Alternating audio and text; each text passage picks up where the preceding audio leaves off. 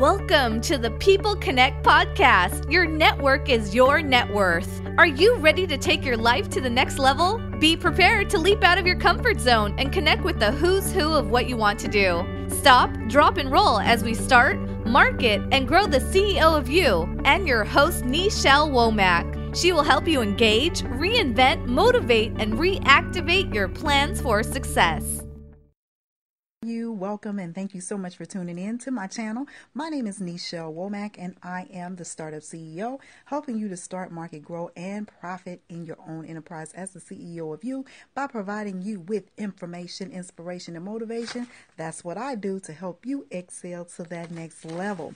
So I am coming on today to share share with you when is it time to buy your first piece of property, your first home, your first investment property, or whatever it may be, but particularly your first home. As a licensed real estate broker, I've been in the business of real estate for about 25 years, as a licensed real estate broker for about 16 years.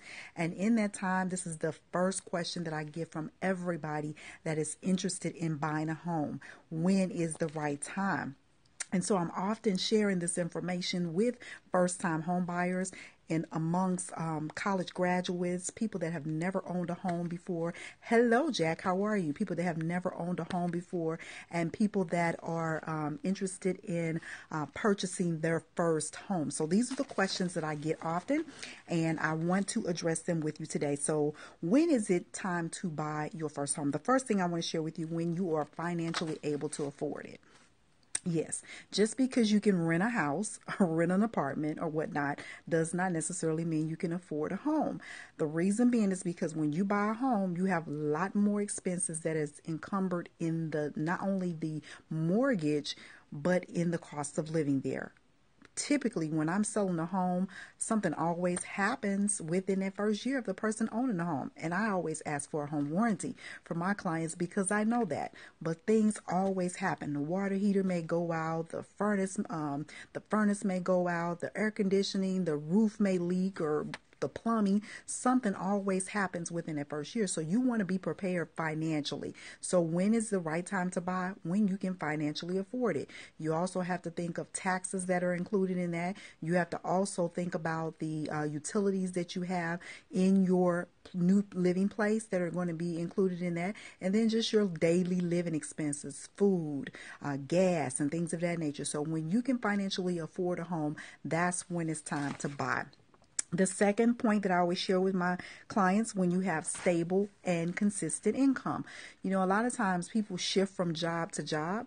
That's not the perfect time to buy a house. The reason being your income isn't consistent. And if you are getting a mortgage loan, they're going to see that and they probably will not give you the loan. They typically look for at least two to four years of stable, consistent income in the same field before they lend to buy a home. So keep that in mind. If you are thinking about buying one, then you definitely want to make sure that you are on your job for at least two to four years so that when the lender goes to look to see that, that, that they can see you have some consistency in your living habits. Okay. So that's number two. Number three, when is the right time to buy a home? When interest rates are low. Right now, they're about 4%. And, um, you know, I work a variety of different clients. Some have excellent credit, some have mediocre, some have bad. so, honestly speaking, when you are thinking about getting a home or deciding to get one, make sure you check your credit and get your credit up to par because if your credit is bad, more than likely you're going to have a high interest rate. What is considered bad credit? If it's not um, about 680 and above, 680 and above, not that you can't get anything less or with less credit than that because you can. But the fact of the matter is, you're going to probably have a, a, higher interest rate. And so, when you have a higher interest rate, your mortgage payment is going to be higher. And you want to make sure that you um, uh, look at your budget for that to happen. So I always recommend to my clients if you know that your credit is not good, let's work on getting your credit better so that you can get a better rate because a better rate means that you'll be able to afford the mortgage obviously and that it will be easier on your budget. Okay, nobody likes to pay a high interest rate. I think the highest interest rate that I've ever seen in this time right now is about 10%. Because there's different facets of loans that you can get and typically the different facets of loans have a higher interest rate. Now if you go in fha that's a great program to go into because it's anywhere from about 3 to 5 percent is what i'm seeing with interest rates and that is a great program for first time home buyers and then the stipulations are not as strict as they are with a conventional or a balloon payment and all that kind of stuff. I mean there's so many different loan programs out there. First time home buyers typically fall under the fha if they qualify qualify. Bottom line, you have to qualify.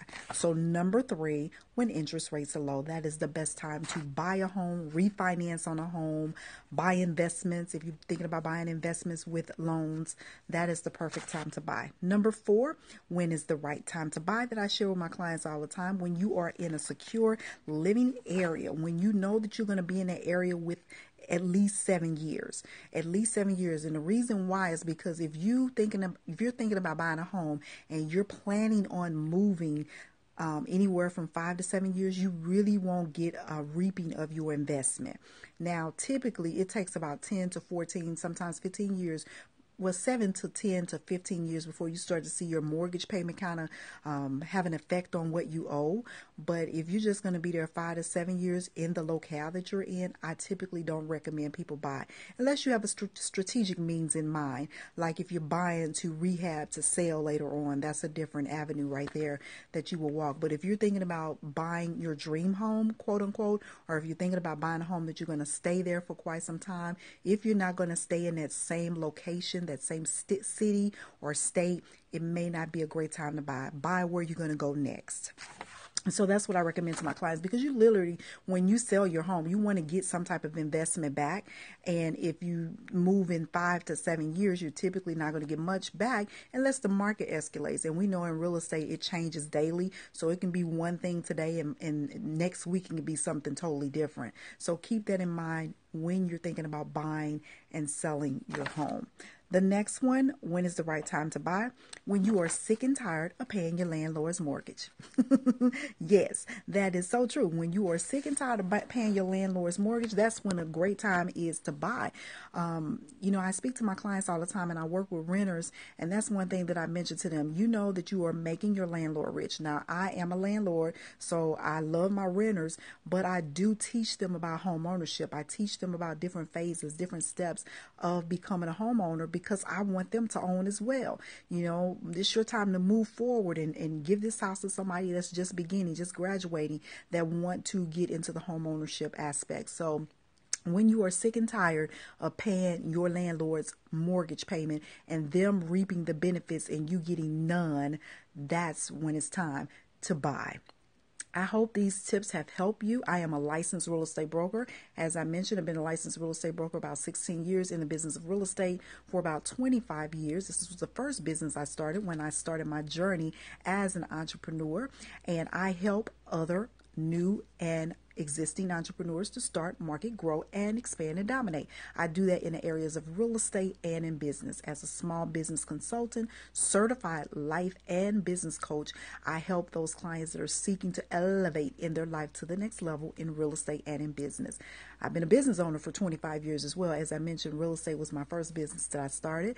And from there, I just trickled down and started doing other things and started adding other things to my portfolio and growing from there. So I do the th- same thing thing by helping other people do what I've done, what I've learned, teaching them things that I've done that I failed in that you can concede in, succeed in, so you don't have to walk that same path that we walked when we first started our business. So my name is Nichelle Womack, and I typically come on regularly. Depends on what my life looks like. I'm also a doctoral candidate working on a PhD in human behavior and psychology. So I spend a lot of my time writing dissertations and things of that nature so I can complete this PhD so you can address me as Dr. Nichelle.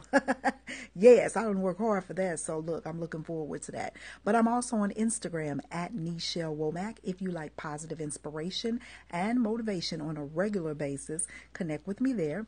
And like I said, I'm here. If you're not connected with me here, connect with me. Click the link in my bio to Excel with Nichelle, and you can get all the little goodies and gifts that I have available for new and existing entrepreneurs. So, thanks again for tuning in. If this broadcast was beneficial for you, don't be stingy. Share it with other people as well, especially those that are interested in buying a home and have that same question when is the right time to buy?